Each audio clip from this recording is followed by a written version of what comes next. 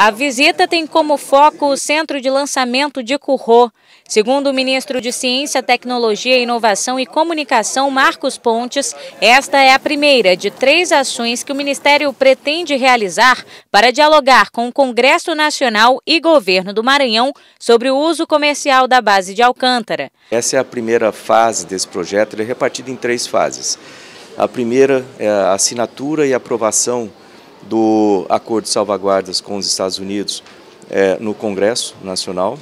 Aí, uma vez aprovado, a gente passa para uma segunda fase, que é uh, toda a análise de planos de negócios locais, locais uh, toda a conversação com as comunidades, com, com as autoridades locais e trazer também alguns experts é, para nos ajudar a montar um plano de desenvolvimento econômico e social aqui da, da região. E a terceira fase, uma vez que esse plano seja feito e aprovado, terceira fase é a execução.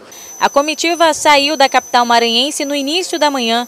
O ministro embarcou para a Guiana Francesa em um avião da Força Aérea Brasileira ao lado de parlamentares. Nós estamos indo para essa missão na Guiana justamente para conhecer como que era antes, ouvir a comunidade local, conversar com as pessoas, com os comerciantes, com a comunidade política, para saber como que era antes e qual foi o impacto real é dentro da comunidade. Com base no que foi desenvolvido lá, devem ser avaliados os aspectos sociais e econômicos do acordo de salvaguarda tecnológica do Centro de Lançamento de Alcântara, firmado entre os governos do Brasil e Estados Unidos.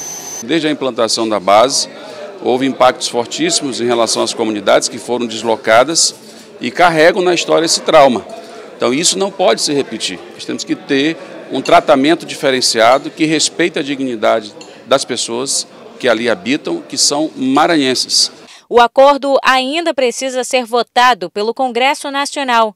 Caso seja aprovado, a Força Aérea Americana poderá fazer operações como lançamentos de satélites e foguetes da base maranhense. A gente está prestes a aprovar, é, de acordo com o entendimento do Congresso, a, o acordo de salvaguardas tecnológicas com os Estados Unidos. É importante porque 80% das peças usadas nesse mercado aeroespacial são americanas e nós precisamos do apoio do Congresso para que esse acordo seja aprovado.